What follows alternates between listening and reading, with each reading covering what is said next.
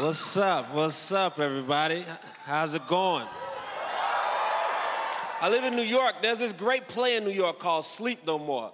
And Sleep No More, it's not a regular play where you sit in the audience and watch people perform on the stage. Sleep No More is in this five story building. Actors just pop into any room. They start doing a scene there. They leave that part of the building, go to another part, and it's real cool and interactive. You follow them around, it's great. And I was in this office set there, just me all alone in this office set, and I farted in that room. But then two actors came into that room to do a scene, but they acted right into my fart cloud. And I could see that it was bothering. I could see in their eyes that it was bothering but they had to power through and stay in character. And you know what? It was really cool to be a part of the process. I really enjoy being a part of the process. This next bit really doesn't connect to anything I've said so far or anything I'll say. I'll just do the bit. I want to jizz in my hand and go to a palm reader and say, what does that mean? What does that mean? What does that mean? What do you see in my future? A nap? I'm trying to get in shape. My, my girlfriend, she's in great shape. She, she's healthy. She gives me health tips sometimes, like, Hannibal, you're gonna die. Shit like that, you know, just real insightful stuff. No, she cares. She cares. Like on my left foot, the big toenail is brown. And she says, Hannibal, get it checked out. But I've been letting that shit ride for a decade. get it checked out. No, that toe's different. He's an artist. He's the leader of the foot. He's brown. Eventually, the other four toenails will be brown. Then it'll be a united situation down there. Just get it checked out. So I'm gonna go to a podiatrist and get it checked out. But I think that's a weird job to even wanna be a podiatrist. Yep, I wanna look at people's feet forever. Oh, yeah, you weirdo. That's your dream. That's your life's dream, you weirdo. But then I thought about it more. Being a podiatrist has to be great because the stakes are so low. When you're a podiatrist, you never have to walk into a waiting room, make a horrible speech. You never, I'm sorry, your son didn't make it.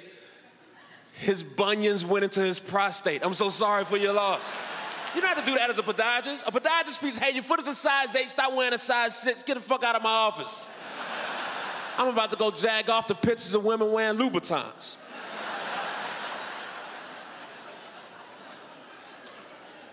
I got here to uh, Canada today.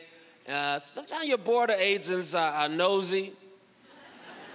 Sometimes I come right in, and then sometimes they say, What is this that happened in 2002? I say, That is American business right there. Don't worry about what happened in 2002. That happened there. I enjoy traveling because I always meet people, and people want to be good hosts sometimes. You know, so after the show, I've met people, they say, Hey, man, whatever you need while you're here in town, I got you. Anything you need, I'll get it for you. But people say anything, but what they really mean is restaurant recommendations and shitty weed. is what they have access to. It just sounds cooler to say anything sometimes. I remember one time I was on the road, this guy comes up, Hannibal, whatever you need while you're in town, I got you. I run this town. I fucking, I run this town. I'm the king of Tampa, Florida. I run Tampa. What do you need, man? You need somebody murdered? No, I don't need anybody murdered. Well, why would I need that? People gotta die sometimes, man. Man, I just got here eight hours ago. Shit escalates fast sometimes, man. Listen, if you need somebody murdered, I got six assassins to live here in Tampa and three that have traveled from Orlando if you give them enough notice. What do you need, man? What do you need? You need some girls? You need some cocaine? You need some girls that do cocaine? I got you. I run this town. I love your comedy show, even though I talk through half of that shit. What do you need? Anything you need, my nigga. Hey, you white is weird when you say my nigga. Whatever, my nigga. The word don't mean what it used to mean anymore. Rappers say it, I should get to say it too. What do you need, man? You need some girls, you need X, you need some girls that do X, but don't do cocaine, but also kill motherfuckers. What do you need? I'm the king of Tampa. I really wanted to send that dude on a scavenger hunt. Okay, you know what I need? I need episode two of the X Men cartoon on Blu ray.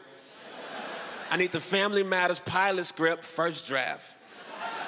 I need three syringes full of cheese. That's a weird one. I need a pair of brown penny loafers with quarters in them. I need a baby shoe from every state. I need to learn how to live in the moment more. I need page 24 of Outliers by Malcolm Gladwell, just page 24 with nothing on the other side. and I need the audio to the Jay Z Solange fight in that elevator. I wanna know what happened. hey, good night, y'all. I'm Hannibal Buress later.